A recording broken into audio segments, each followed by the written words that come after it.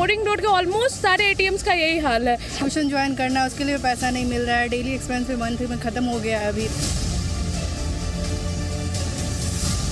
पैसा का ज़रूरत था आए तो देख रहे हैं एटीएम पैसा नहीं है।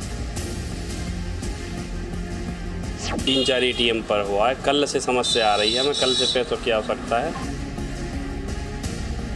लगभग सभी बैंकों के एटीएम में पैसा नहीं है। दो तीन जगह पे आया, वहाँ पे आया नहीं है।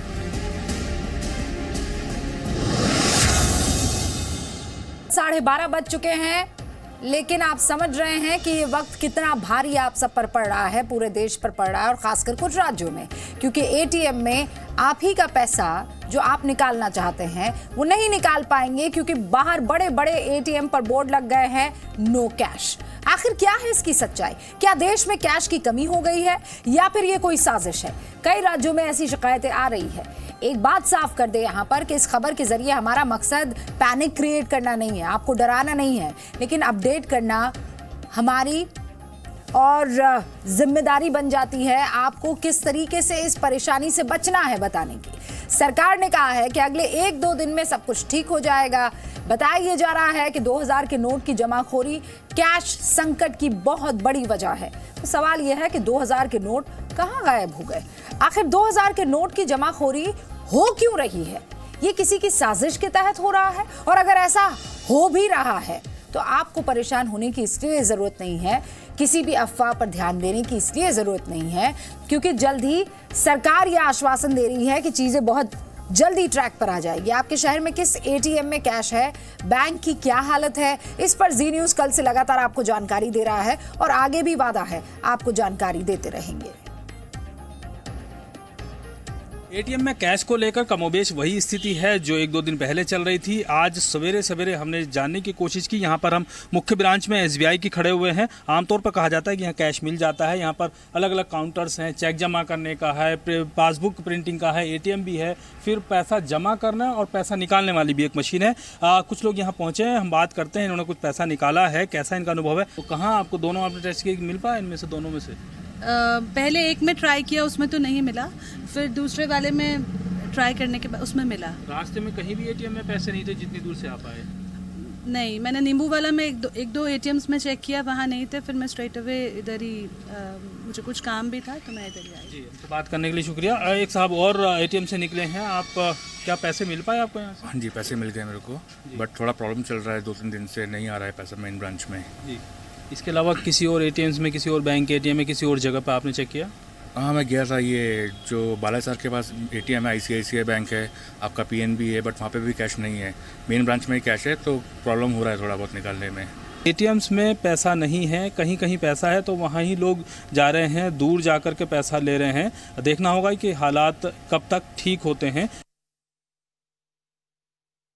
एसबीआई जैसे सरकारी बैंकों में पड़ताल के बाद हम निकले हैं कि कुछ सार्वजनिक क्षेत्र के जो बैंक है या प्राइवेट बैंक है, उसके भी एटीएम में पड़ताल किया जाए कि उनके एटीएम मशीन कैश उगल रहे हैं या नहीं, या कितने के नोट बाहर आ रहे हैं। हम अभी ऐसे ही इंडियन ओवरसीज बैंक के एटीएम में पहुँचे हैं और यहाँ पे हम देखने की कोशिश करते हैं कि आखिर यहाँ पे क्या हालात हैं। एक डेमो करके मैं देख लेता हूँ कि यहाँ पे क्या है। और मैंने ये अपना एटीएम कार्ड लगाया और एटीएम कार्ड लगाने के बाद जब राशि निकालने के लिए मैंने विड्रॉल का बटन दबाया है तो उसके बाद ये देखिए अवेलेबल जो करेंसी है यहाँ पे, वो हंड्रेड का है और पाँच सौ की है। मतलब दो हज़ार की करेंसी जिसकी सबसे ज़्यादा किल्लत अभी देश के कई राज्यों में है, और ऐसा कहा जा रहा है कि दो हज़ार की जो करेंसी है, वो आखिर गई तो गई कहाँ, वो करेंसी यहाँ पे भी मौजूद नहीं है। इसके अलावा भी अगर हम कहें तो दूसरे भी सार्वजनिक क्षेत्र के या प्राइवेट बैंकों के हाल कमोबेश ऐसे ही हैं, और सबसे ज़्यादा प्रभावित अगर हम कहें तो SBI और जो पंजाब नेशनल बैंक है उसके एटीएम हुए हैं। वैसे देश के अलग अलग राज्यों से एटीएम में कैश ना होने की जो तस्वीरें आ रही हैं वो हम आपको दिखा रहे हैं लेकिन केंद्रीय वित्त राज्य मंत्री जो हैं शिव प्रताप शुक्ल वो ये कह रहे हैं सफ़ाई देते हुए कि कैश की कमी नहीं है एटीएम में कैश ना होने के पीछे दूसरी को कुछ वजह है। जहाँ तक पैसे की कमी ऐसी कुछ भी बात नहीं है। बल्कि आज भी लगभग डेढ़ लाख करोड़ से अधिक करेंसी हमारे पास है। और जहाँ उसकी आवश्यकता होगी, हम उसको पूरा करेंगे। एटीएम्स में भी दे रहे हैं। हो सकता है कभी कभी एटीएम की खराबी के नाते, कभी किसी और नाते न रहा हो। किसी प्रदेश में आम तौर पर इधर की स्थिति ये होती है, जैसे शादी विवाह का समय होता है, खेती का समय होता है तो हर समय थोड़ी बहुत स्थिति ऐसी होती है। कहीं पैसे अधिक हो जाते हैं, कहीं पैसे कम होते हैं तो आरबीआई से वार्ता कर करके जहाँ कमी होती है तो उसके आधार पर उनसे बात कर करके उसको भिजवा देते हैं। कितनी भी करेंसी कितना भी कैश सरकार के पास हो, लेकिन वो कैश आम जनता के पास तो नहीं पहुँच रहा है। एटीएम पर बोर्ड लगे हुए हैं। शुक्ला साहब को भले ही ये लग रहा हो कि कुछ एक एक आध एटीएम में ऐसा हो सकता है तो उनको लगे ये बात। लेकिन सच्चाई ये है कि अलग अलग राज्यों के बहुत से एटीएम में कैश नहीं है। और हमारे रिपोर्टर्स इस बात को आप तक पहुँचाने के लिए ग्राउंड ज़ीरो पर मौजूद है। मुंबई से अमित कुटेचा हमारे साथ है। दिल्ली से यशस्विका हमारे साथ आपसे कुछ ही देर में जुड़ेंगी। लखनऊ से अमिता पारुल हमारे साथ जुड़ गई हैं। अमिता मंत्री जी ये कह रहे हैं कि एकाध जगह थोड़ी सी परेशानी होगी। कभी कभी मशीन खराब हो जाती है एटीएम की, कभी आप ज़्यादा कैश निकाल देते हैं। लेकिन ये बहुत बड़ा इतफाक नहीं है कि सारे के सारे राज्यों में इसी तरीके के कमोबेश हालात दिखने को मिल रहे हैं और मंत्री जी को लग रहा है कुछ एक जगह है बस।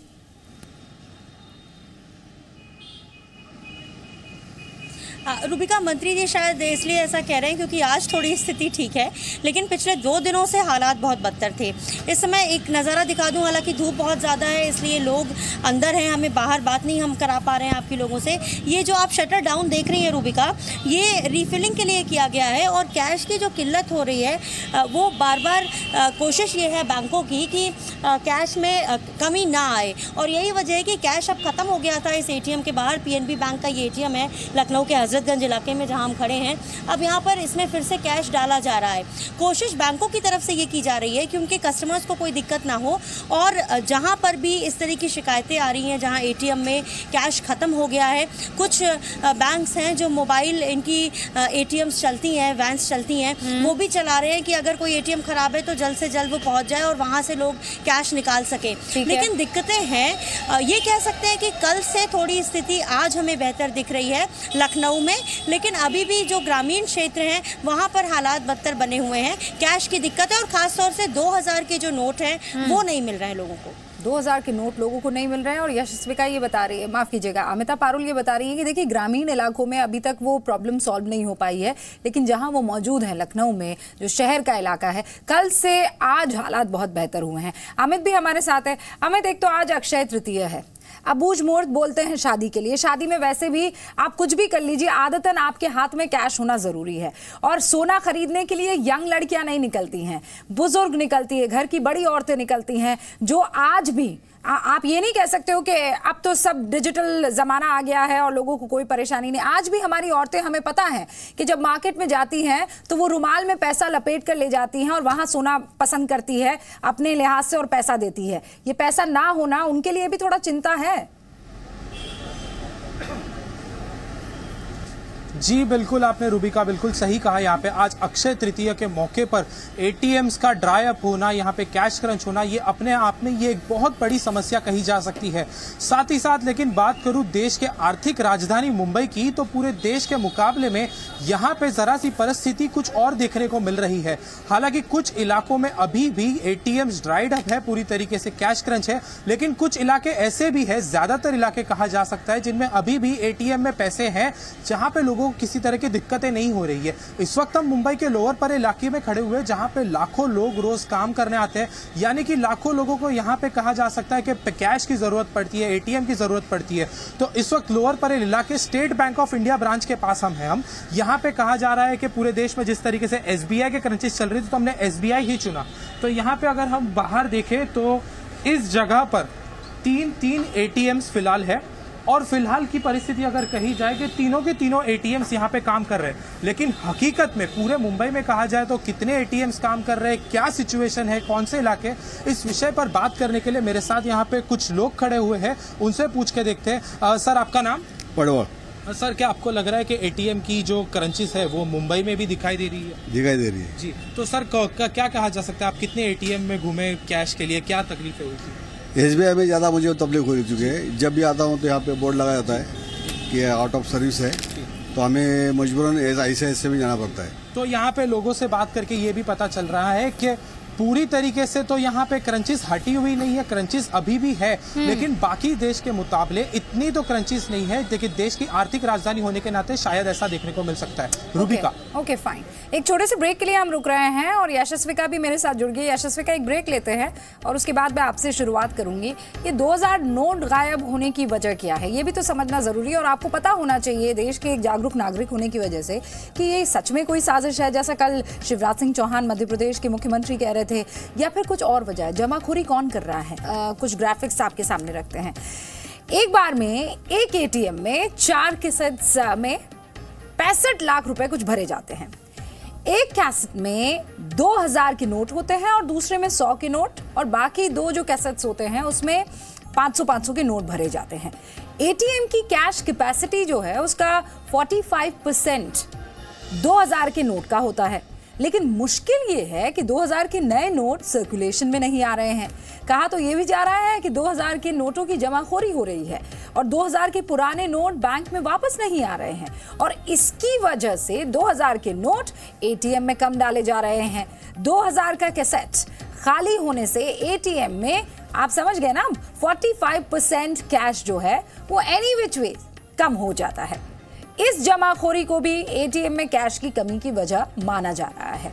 हमारे साथ यशस्विका जुड़ी हुई है अमिता पारुल हैं और अमित हमारे साथ जुड़े हुए हैं। पहले यशस्विका का रुख कर लेते हैं। यशस्विका आप कहाँ पर मौजूद हैं? और क्या आपको भी कल के मुकाबले आज में कोई अंतर दिखाई दे रहा है? बेहतर हो रही है स्थिति?